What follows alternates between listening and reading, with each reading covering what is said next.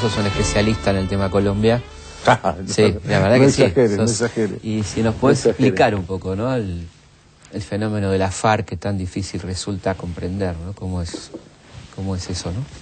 Porque efectivamente no tuvo el apoyo cubano, esa guerrilla inicialmente, ¿no? Tuvo como diferencias. Surge de un partido no comunista originalmente, ¿no? ¿Cómo fue toda esa historia de...? No, en primer lugar, yo, yo te contradigo solo en una cosa, no soy ningún especialista. ni- Bueno, pero has estado... Pero bueno, yo, yo en realidad tuve siempre una atracción muy grande por el tema, el tema colombiano. Eh, desde que Colombia es un país muy especial en la historia latinoamericana. Primero por el enorme papel que juega en, el- en la, inde- en la Sí, independencia. La Gran Colombia, ¿no? La Gran Colombia, claro, la Gran Colombia, De Miranda para acá. Miranda para acá, y después porque es un país en donde las luchas post-independencia continuaron casi sin solución de, de continuidad, Claro. ¿no? Sí, sí. prosiguieron sin solución de continuidad. Eh, y es uno de los países sobre los que en Argentina menos conocíamos y creo que todavía menos conocemos, menos conocemos. Sí. Y por supuesto, era muy importante, muy importante porque eh, para mí en ese entonces yo estaba tratando de hacer una labor internacional apuntando a lograr que nos juntáramos todas las fuerzas que habíamos resistido el cimbronazo de la contrarrevolución conservadora, es decir, la desarticulación de la, de la, Sí. de la URSS.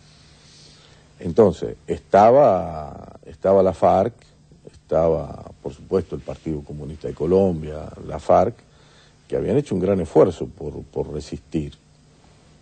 Y bueno, a nosotros, junto con, con los comunistas salvadoreños, nos encomendaron a, a mí y a Ramiro, Ramiro Vázquez, que en realidad se llama hoy en la política salvadoreña José Luis Merino, pero en estas es- cosas de la clandestinidad. esta ¿no? cosa de la clandestinidad, él fue el comandante de la FAL durante la guerra salvadoreña, eh, fue uno de los comandantes principales de, de toda la guerrilla, y su nombre era Ramiro Vázquez.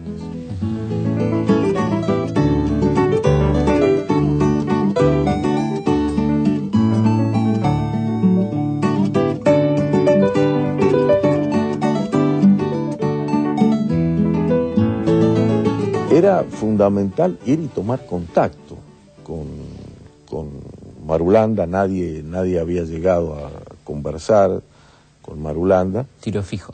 con tiro fijo, con esa, esa leyenda.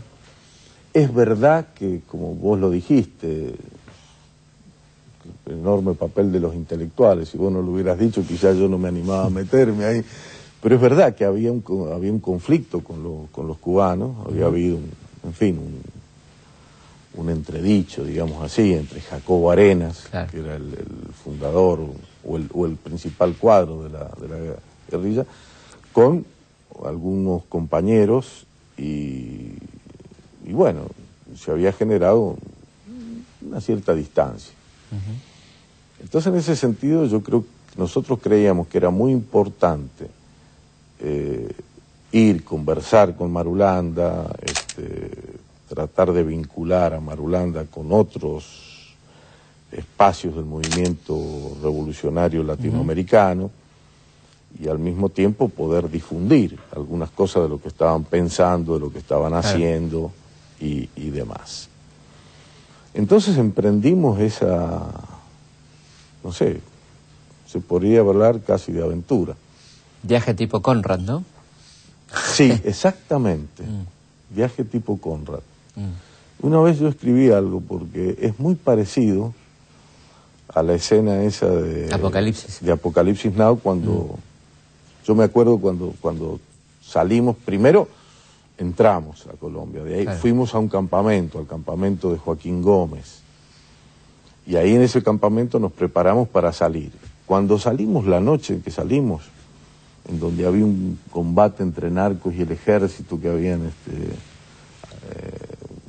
fin, asaltado un, campamento, no sé qué había pasado, eh, y andaban los helicópteros por arriba, y nosotros íbamos este, eh, por el río en, la, en el bote a motor. Faltaba este, cópula nada más. Faltaba cópula. Pero en todo caso, este, nosotros en ese momento estábamos con, con mi amigo, estábamos enfermos, presión, este, los bichos. Diabetes, este, no sé qué. No, eran las enfermedades de la ciudad. No, digo, los bichos, aparte la... Sí, entonces me dice, me acuerdo que Ramiro me dice, compadre, dice, creo que nos equivocamos. Dice, ¿por qué? Le digo. Dice, nosotros en vez de ir a la, venirnos acá a la Amazonía nos tendríamos que haber ido a un hospital.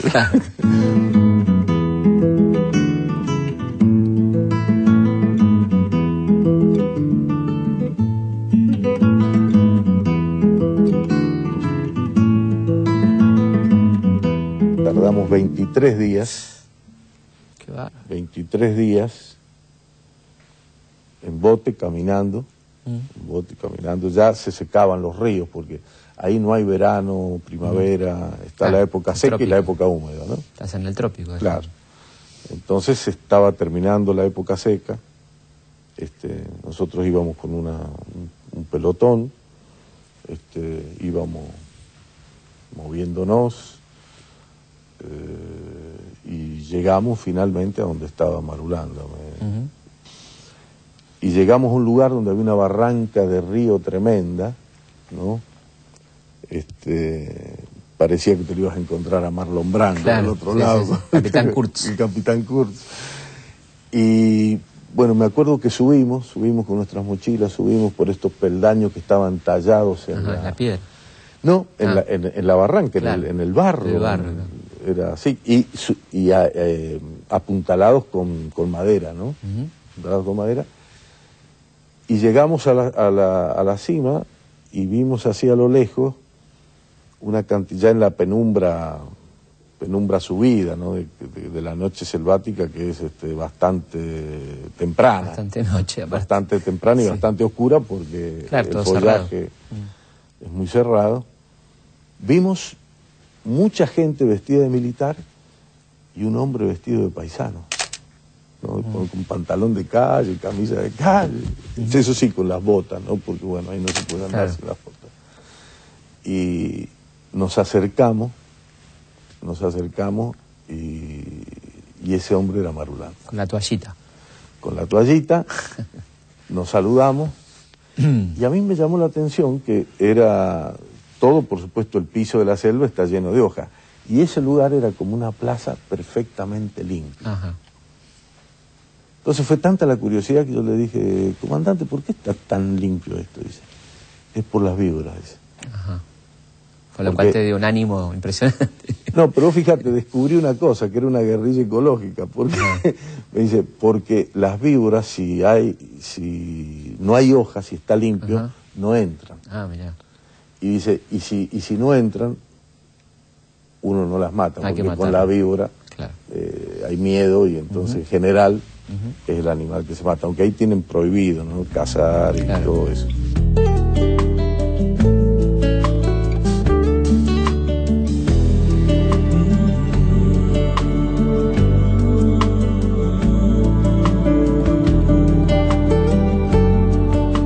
¿Qué impresión te causó el personaje?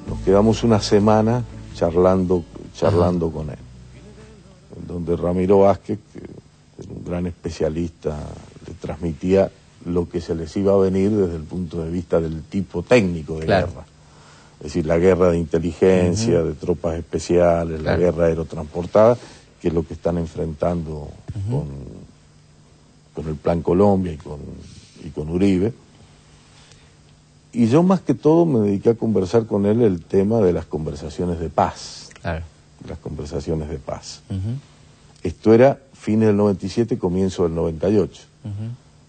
Dos años más tarde, dos años más tarde, bueno, esto es lo que conversamos también con Fidel. Fidel trabajó muchísimo con Pastrana, con todo el mundo para, para que haya conversaciones de paz en, en Destrabar la cosa, digamos. Para destrabar. Finalmente eso se logró. También finalmente... La zona de desarme, todo eso. Claro, claro, se estableció una zona, se llamaba... Eh, la zona de despliegue, no recuerdo bien, pero que fue eh, todo, un, todo un departamento, fueron como 30.000 kilómetros cuadrados, en donde no había guerra. Claro.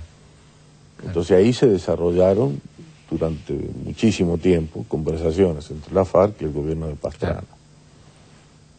Eh, bueno, ahí se desencasquilló porque la, la derecha colombiana presionaba a Pastrana para que exigiera el desarme, la FARC no se quería desarmar, este, no quería seguir el rumbo de otras organizaciones y eso finalmente frustra las conversaciones, las conversaciones de paz.